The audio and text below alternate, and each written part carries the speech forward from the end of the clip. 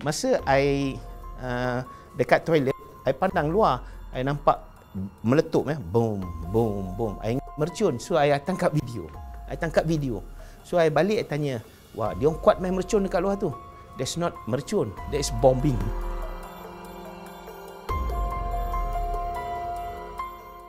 17 Julai dia berlaku.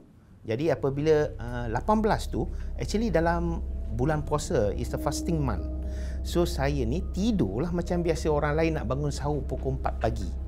Dan apabila saya bangun pukul 4 pagi nak bersahur tu my wife told me, "Eh, hey, there is a air crash dekat Ukraine." So I immediately pergi tengok I punya handphone. Then I was I was receive SMS from TKP MKN Datuk Zahari Rosli please be at KLIA kita nak berlepas pukul 8 pagi. I tak tak sempat makan you know lah waktu imsak pukul 5 I preparing my barang straight away call taxi straight to the KLIA then we arrive uh, dalam 4 pagi uh, 19 hari bulan. We uh, naik bus then we go to the hotel President Hotel in Kiev.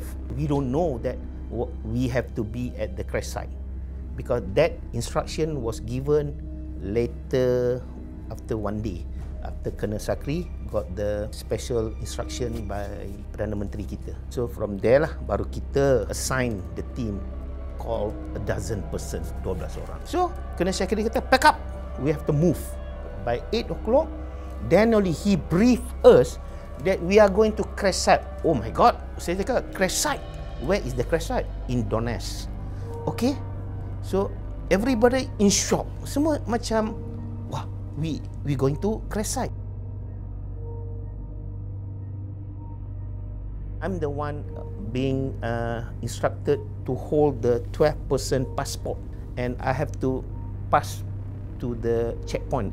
But this checkpoint eh, kalau kita tengok eh, sebiji macam dekat Israel sana ya, ada kereta kebal, ada macam-macam. Memang is a serious checkpoint roadblock macam medan perang uh, dinding-dinding yang ditembak eh sampai ke checkpoint yang ke-9 that's where uh, team orang-orang Borodai Alexander Borodai uh, approach kita dan kita was uh, escorted by them to the uh, apa ni Borodai main office I feel secure by a team members yang uh, 11 orang ni. We find we have commandos there. We have everybody there. We tak ingat yang we nak pergi ke medan perang and once we sampai dekat office Borodai, that's where uh, sikit takut sebab kita nampak separatist tu besar dia satu setengah daripada I. And berjambang. You know orang Russian, dia tengok kita, dia tak senyum. Kita tengok dia atas, dia tengok kita bawah kan. Jadi dekat situ, oh my god. Dia pegang AK-47 eh.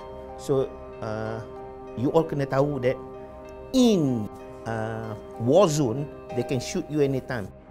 I masuk, I kata I nak pergi toilet. Dia escorted one of the separate escort saya masuk ke toilet. So kita please, I nak pergi uh, toilet. So dia tunggu saya kat luar.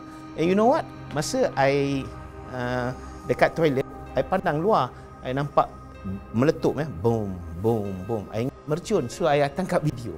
I tangkap video. So I balik I tanya, wah dia kuat main mercun dekat luar tu. That's not mercun, that's bombing. Oh my god, baru saya duduk diam. Saya tak pergi toilet sampai petang. Sebab bom tu dekat dia. Dia meletup, meletup kiri kanan, kiri kanan, kiri kanan. As a civilian, saya rasa saya tak takut. Saya rasa bersemangat ketika tu and more or less saya kesian kepada mangsa-mangsa tu. Jadi uh, memang niat kita tu ikhlas masa tu ingin membawa pulang mayat-mayat, barang-barang apa saja, apa saja yang milik Malaysia itulah yang kita diarah untuk bawa pulang. Jadi apabila pukul 12 malam tu penyerahan kotak hitam, kita terus ke kereta api di stesen kereta api uh, uh, Donetsk dan dari situ kita bergerak balik ke Kiev. Sampai di Kharkiv, kami diburu pula oleh pasukan-pasukan apa ni wakil-wakil daripada luar negara yang memohon meminta black box tu diserahkan pada negara mereka.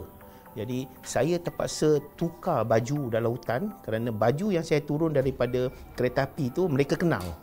Jadi saya terpaksa masuk dalam hutan, buka baju ni saya pakai t-shirt round collar, pakai seluar jeans baru tak ada orang kacau. Jadi apabila kita turun daripada kereta api, kita semua pakai uh, backpack dekat belakang. Backpack ni semua lebih kurang sama je. Jadi dia tak tahu siapa yang pegang kotak hitam tu. Sebenarnya yang pegang kotak hitam tu semua komando. Okey. Jadi ramai yang datang approach dan bukan saya saja dia approach. Semua yang tim 12 tu, where is the black box? Where is the black box? We are from uh, negara-negara tertentu yang uh, kita kita berhak untuk terima ni.